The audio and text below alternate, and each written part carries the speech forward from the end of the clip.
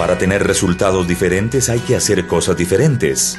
Parece básico pero es clave a la hora de alcanzar metas ambiciosas como la de impulsar la construcción de un millón de viviendas. Con esta consigna, desde que inició el gobierno ha trabajado la ministra de Vivienda.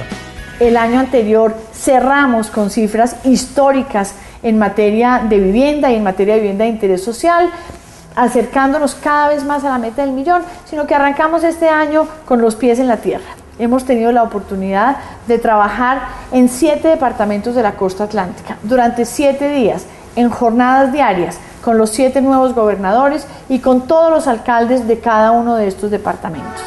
Allí pudimos no solamente reiterar nuestro compromiso con estos departamentos, sino también presentar en detalle la oferta institucional del Ministerio de Vivienda y Agua Potable.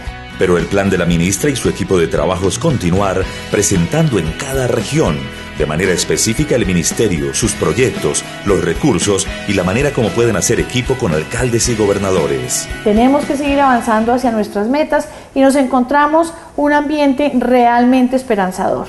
Estamos viendo alcaldes y gobernadores con gran ímpetu y lo más importante, con gran interés en avanzar en los temas de pobreza, de pobreza extrema y allí en los temas de agua potable, saneamiento básico y vivienda de interés prioritario.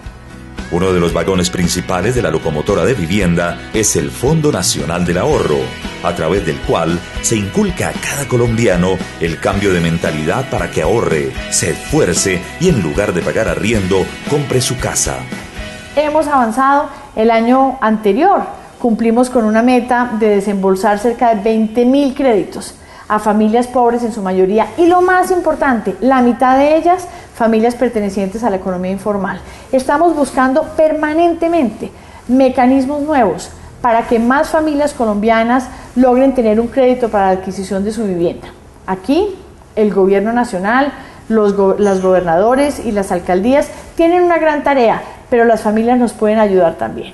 Todas las familias que estén pagando un arriendo pueden, por supuesto, dejar de pagar el arriendo y volverse propietarias pagando con esos recursos un crédito de vivienda.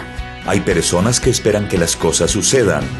Hay personas que ven que las cosas suceden. Pero hay personas que hacen que las cosas sucedan. El ministerio lo está haciendo. Ahora ustedes deciden. El 2012 es el año para ahorrar y es el año para comprar vivienda.